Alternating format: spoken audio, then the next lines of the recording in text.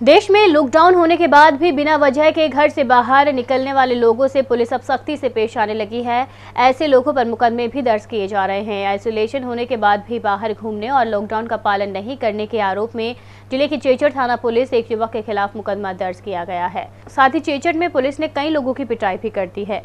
Doctor Niharika Soni ने सूचना दी है कि ग्राम मदनपुरा में रमेश नाम के युवक को हिदायत के बावजूद उसकी पालना नहीं की जा रही थी। युवक को चौदह दिनों के लिए हमने होम आइसोलेट कर रखा था, लेकिन वह बार बार घर के बाहर घूमने की शिकायत आ रही थी। इसलिए डॉक्टर के आदेश का उल्लंघन करने पर युवक के खिलाफ आईपीसी की धारा एक सौ अठासी व दो सौ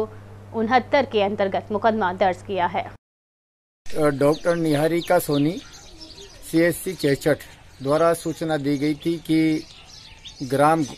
मदनपुरा में रमेश चंद प्रजापति द्वारा होम आइसोलेशन में रहने की हिदायत के बावजूद, और उसने उसके पालना नहीं की है, उसने लॉकडाउन के आदेश का उल्लंघन किया गया है उसके द्वारा, हम मौके पे पहुँचे तो आशा सहयोगिनी के द्वारा उसकी शिकायत दर्ज करवाई है,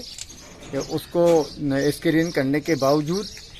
वो घर से बाहर निकल के घूम रहा है, उसको चौदह दिन तक घर के अंदर रहने की हिदायत की गई थी, और उसने लॉकडाउन के आदेश का उल्लंघन किया